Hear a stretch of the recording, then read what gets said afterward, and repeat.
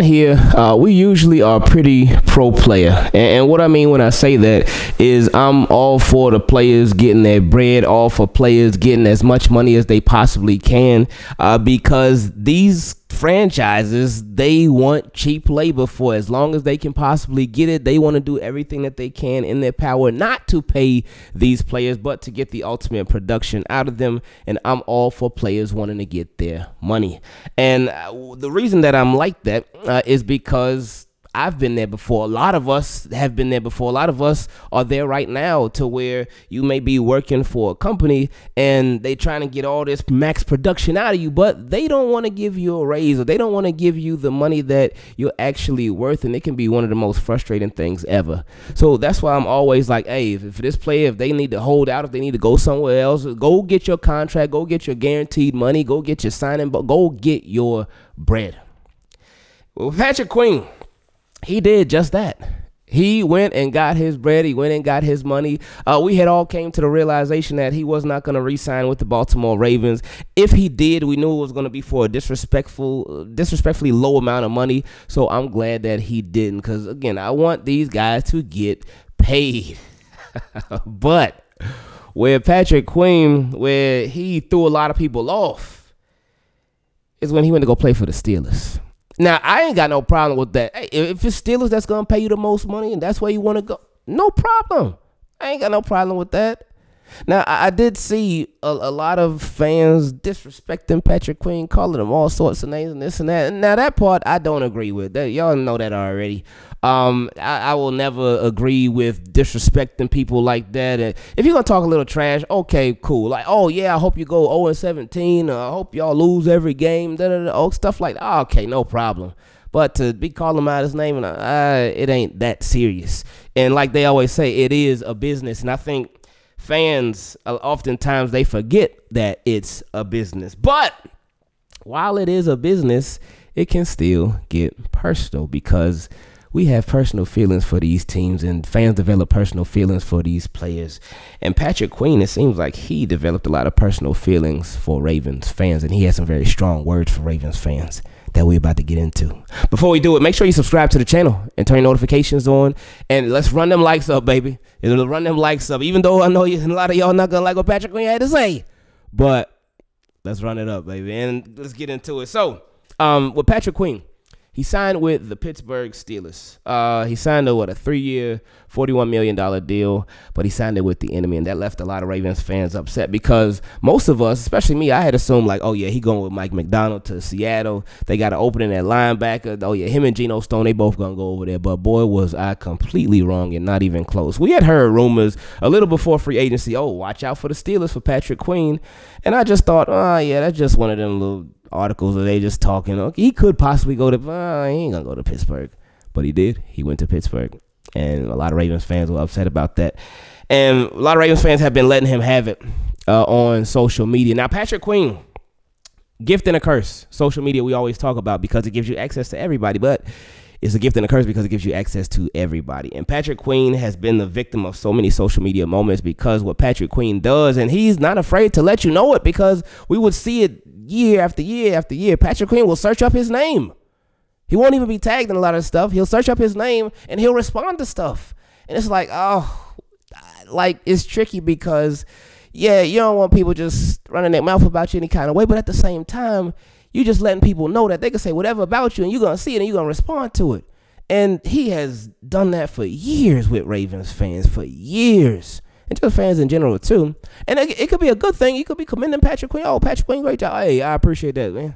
Or, but too many times we've seen it where somebody is talking trash about Patrick Queen, and he'll respond to it. And I think that was one of the biggest mistakes of his uh, Baltimore Ravens career, just on social media alone. But here, uh, recently, Patrick Queen has been getting it from Ravens fans big time because they don't like the decision that he made. They don't like how he made a decision. I ain't got no problem with the decision he made, but then this is where I got lost though, because let's let's hear what Patrick Queen had to say toward Ravens fans. He said, honestly, bro, y'all can shut up now. It's not even that deep for us players until game week, and y'all can't understand the fact it wasn't up to me. I gave y'all everything I had now, and uh, excuse me, I gave y'all everything I had. Now, when it's time for me to do what I need, y'all heard about everything I say. Go touch some grass and fill the void in your life. To one still showing love, even with the switch, this is not to y'all. So Patrick Queen telling Ravens fans, shut up. It ain't even that deep. And it wasn't even up to me as far as him leaving. That part, like, okay, I guess that's him saying, like, hey, I, I really wanted to stay, but they ain't want to pay. So I had to go. I gave y'all everything. So he's saying he put it all out there on the field. Okay, I could agree with that. Um, and now when it's time for me to do what I need to do, as far as for his business, for his family, for his money, uh, that now y'all heard about everything that I say. So go touch some grass. So telling Ravens fans, get outside, go live life, uh, and fill the void in your lives. To the one showing love, even with the switch, this is not to y'all. So, so he was obviously frustrated with a lot of Ravens fans that were talking that trash to him. But see, before this, just a, a day a day or two before he tweeted that, he was at the presser, his introductory presser for the Pittsburgh Steelers, introducing him as their new inside linebacker. And he said, I like being a villain. I want to be the villain.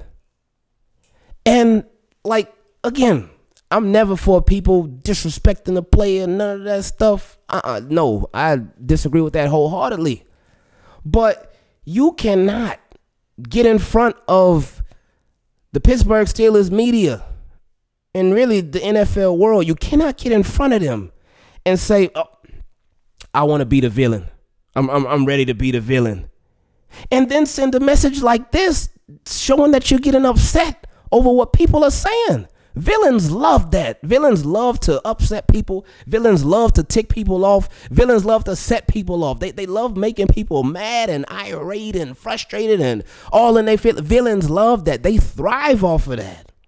So for you to sit, sit there and say, oh, yeah, yeah, I want to be a villain. I'm ready to be a villain. And then go around and tell, oh, Ravens fans, y'all can shut up now. Y'all can shut up. Why? How y'all hurt by everything that I say? You're going in two completely opposite directions. But hey, you know what? Maybe this might this might be just what we need to get that Raven Steelers rivalry back again. Cause it's dead. It's dead. But this right here, this may be the signing right here. This may be Patrick Queen with his actions right. This may be what gets Raven Steelers rivalry back on again. And we need it. We need it. Ravens, Bengals, it's fun. A lot of trash talk back and forth there between the two. Ravens, Browns, it's cool. It's, it's a little trash talk here and there. Not as not nearly as much as Ravens and Bengals though. But Ravens and Steelers, it's just falling off so much, man. So much. It ain't been the same in a, in a long time. And that's for various reasons, but still, it has not been the same. It just doesn't have that umph that it used to have. Somebody explained to me the other day. I think they was in the comment section. They said, "Man, from 2008 to 2012, just watching these teams battle it out just to get the chance to play the Patriots." That's what Ravens and Steelers was all about. They were just fighting with each other. Oh, man, it was crazy. Every game came down to the wire. They were just battling it out like crazy. But after that, it fell off. Now, and then I wouldn't even say just a couple of years after that. Cause remember 2014. Remember that year.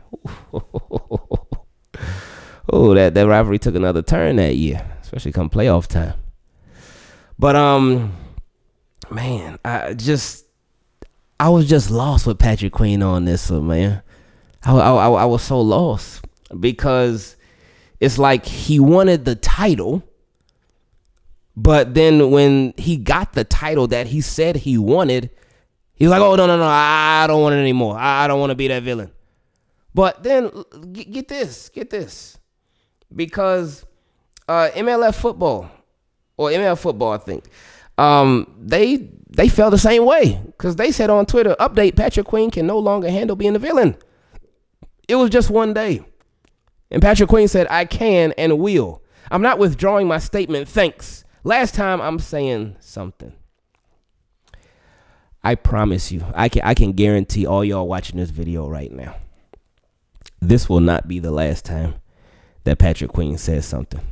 I can guarantee you that. Watch. Because it's it's going to come up whether people are typing about Patrick Queen and cuz again he's he's already displayed this while he was on the Ravens. I don't think just because you switch teams doesn't mean your personality changes. I mean, well, actually, it could. You, you got a little more money now. I mean, he already had bread, but now you got even more bread now. But just because you switch teams, you still the same person. And Patrick Queen again, he'll search up his name, and he'll he'll respond to so much of that stuff, so much of that stuff, so much of the negative stuff, and that lets people know, like, oh, okay, let, let, let's keep on putting it out there. Let's keep on saying it. So with, with, with PQ, um, I, I was I was just a little disappointed with that. But hey, again, at least he, he lighting the fire back for Ravens and Steelers. So now when we watch these games, they're gonna mean a whole lot more.